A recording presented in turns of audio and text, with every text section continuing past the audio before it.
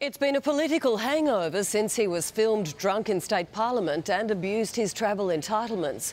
But today, State Finance Minister Greg Pearce finally fronted up to public scrutiny, but still managed to sidestep some crucial questions. Let's go to state political reporter Josh Murphy now. Josh, we hear today Mr Pearce is stressed.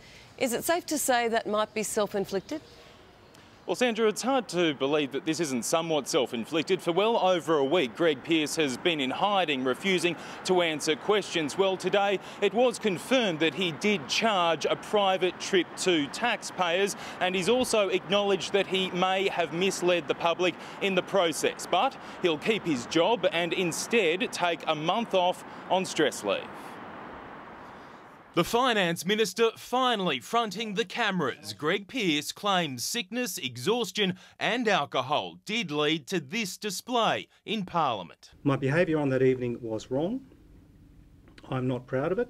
But the true crime came in Canberra the following day. He initially claimed he was visiting these bare paddocks, but he was headed to a drinks function at a top restaurant. What I did on the private trip is private. The trip was always a private trip. But it was swiped on the taxpayer credit card, just under $1,000 worth, a breach of the travel guidelines. He's since repaid the money, but government rates saved him almost $200. I should not have booked the trip through the government travel contractor, and I sincerely apologise for this.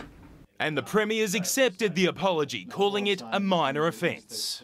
Whether it's a person who's made, who's stolen $200 or $2 million, the community expect uh, proportionate penalties. The Premier spoke to his minister's medical specialist last night. He'll take a month stress leave, not related to excess drinking. But in asking for leave, Greg has effectively asked for help.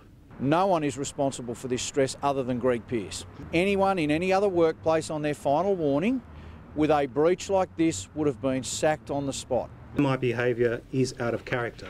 He'll get a third chance after a timeout.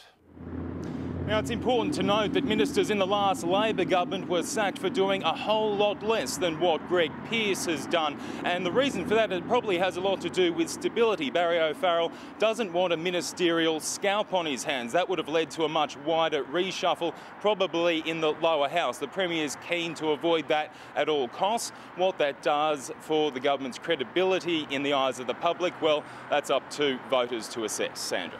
Thank you, political reporter Josh Murphy there.